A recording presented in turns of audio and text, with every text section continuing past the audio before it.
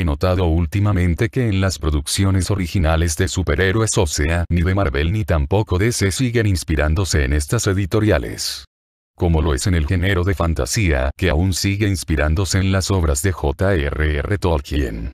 Parece que el resto de historias de superhéroes aún viven delante de las sombras de Marvel y de ese punto yo no creo que malas ya que cuentan una historia diferente pero aún así es una observación mía. En mi opinión yo considero que hay muy pocas historias de superhéroes que tengan su propia identidad dejando a un lado los homenajes y parodias.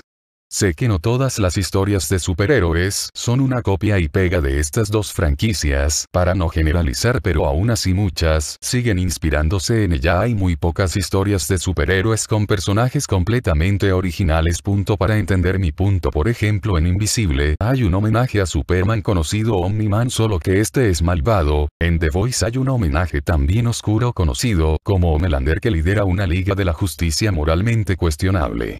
En Megamente hay un personaje parodia de Superman, etc. Los personajes que son más parodiados o homenajeados en su mayoría son de DC Comics. Hasta aquí se entiende que muchos personajes en historias de superhéroes, que no son ni Marvel ni DC están inspirados en estas dos aunque intente contar historias diferentes porque ejemplo de Voice quiere mostrar una imagen mucho menos idealizada y más pesimista de este concepto. Pero sigue usando personajes inspirados en los de DC Comics. Entonces, ¿cuál sería la razón de por qué hay muy pocas historias de superhéroes que tengan personajes completamente originales? Como dije antes yo considero por el hecho que las historias de superhéroes originales en su mayoría viven de la sombra detrás de Marvel y de ese punto yo siento que muchos que hacen historias de superhéroes originales con tal de al menos tener el mismo éxito que estas dos editoriales intentan reutilizar conceptos que ellos popularizaron pero más importante inspirarse en sus personajes para conseguir la atención del público ya que estas editoriales fueron las que codificaron y popularizaron el género de superhéroes. Augne probablemente pudieron haber existido historias de superhéroes antes de estas dos. El impacto que tuvieron y el hecho que no tuvieron ninguna tercera competencia las convirtieron para muchos en las referentes y representaciones definitivas del género. Claro que hay otras editoriales como Image Comics, pero no tienen el mismo impacto. Al punto que quiero llegar es que la influencia de Marvel y DC en la creación y popularidad ha sido extremadamente grande hasta el punto que es muy difícil imaginar una nueva historia de superhéroes con personajes que no hayan al menos sido inspirado en ellos a primera vista.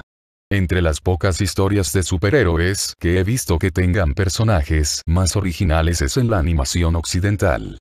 Con esto no quiero decir que todas las historias de superhéroes con personajes inspirados en Marvel y DC sean malas ya que al ser hechas por personas independientes, pueden contar historias y tocar temas que a veces sean difíciles de suceder en los universos de las dos grandes franquicias. En conclusión la razón de por qué creo yo que es difícil hacer historias de superhéroes completamente originales es porque las personas que hacen ese tipo de historias sienten que no pueden superar a Marvel y DC creyendo están abajo de ellas y por eso se inspiran tanto en sus personajes, para crear sus historias aunque estas a veces, siendo la razón más común querer atraer el público que le gustan estas franquicias pero también pueden tocar perspectivas diferentes al género incluso posibles críticas.